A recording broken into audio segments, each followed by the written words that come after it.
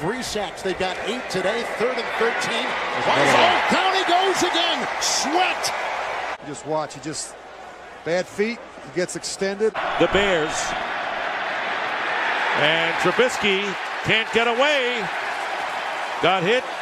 And it's going to be. Fitzpatrick is taken down on third down. They're going to drop this safety down. Prescott able to stay on his feet for a moment, and down he goes. Play made by Sweat.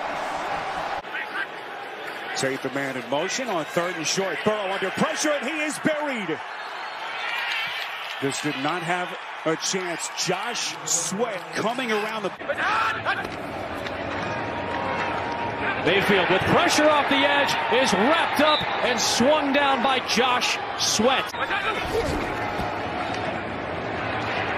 Hunt working backwards.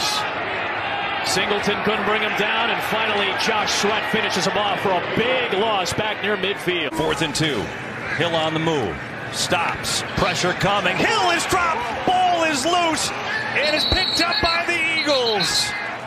Josh Sweat came through with the sack. And a big hold for the Eagles. They'll take over. And they're up three in the fourth. On the fake. Sweat coming with pressure, and he got him again. That's Zeke at the top of your screen on third and 11.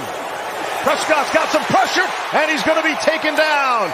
Josh Sweat was the first man there. Lewis, that's the stop of the play. Nine out of ten for the Chiefs against the Eagles last week. Darnold in trouble and swallowed up. This time it's Josh Sweat getting home for the sack. Second down at nine.